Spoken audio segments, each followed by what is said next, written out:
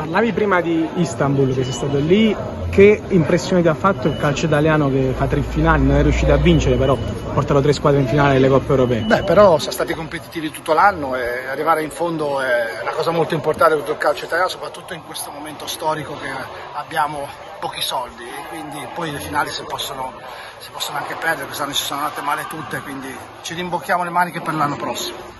Il Napoli che impressione ti ha fatto quest'anno? Cosa ti ha colpito di più in questo percorso? Il Napoli è stata la migliore, ha giocato meglio di tutti, è stata la più forte di tutti e ha meritato il campionato per la qualità di gioco.